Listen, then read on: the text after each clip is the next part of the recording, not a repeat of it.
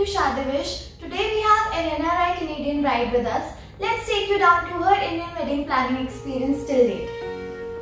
So let's meet our bride to be Divya. Hi Divya, how are you? Hi Pauline, I'm great. How are you? I'm great too. So before we begin with the conversation, I want to know how did you come up to know about Shadivish? Well, I learned about Shaadi Wish through your amazing Instagram app, which further led me to the website. And then I downloaded your app where I read um, all the amazing blogs and I learned about all the newest trends in Indian weddings. So that means our marketing team is really doing great. So what made you fly to Delhi? Well, I wanted to do my all of my wedding shopping in India itself um, because I wanted the true Indian bridal experience, and I think that can only be achieved in India itself. And Delhi is the hub for uh, bridal shopping. So how is your shopping going?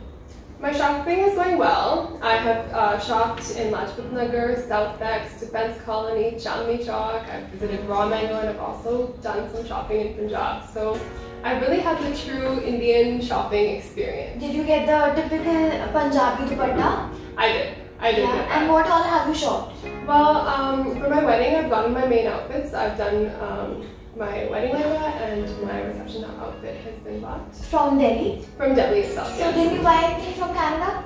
I actually didn't do any wedding shopping in Canada. I really wanted the true, you know, wedding Indian experience, and you know that's what led me to fly all the way to India. So tell me about the Canada market. Like, do they have Indian brides?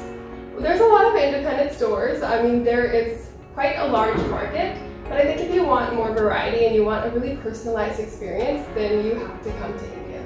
And like, are the outfits expensive there? There is the price uh, markup because everything does come from India, right? So they, there is the markup does exist there.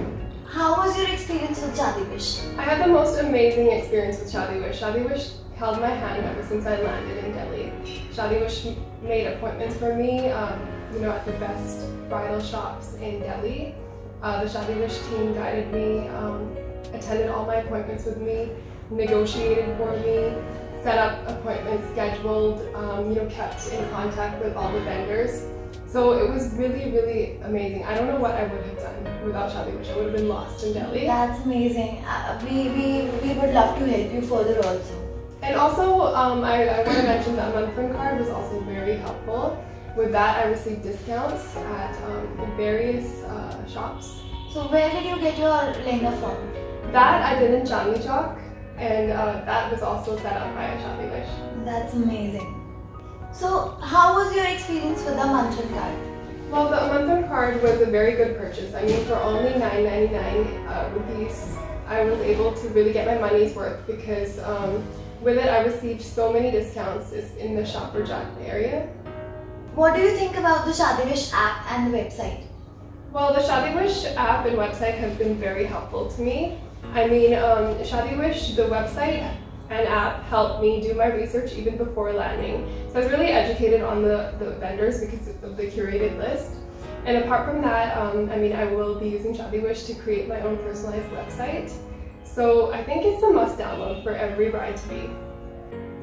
This was a real bride Divya who shared her experience with us. For more such real experiences, stay tuned to ShaadiWish. Hit the bell icon and never miss a video from ShaadiWish.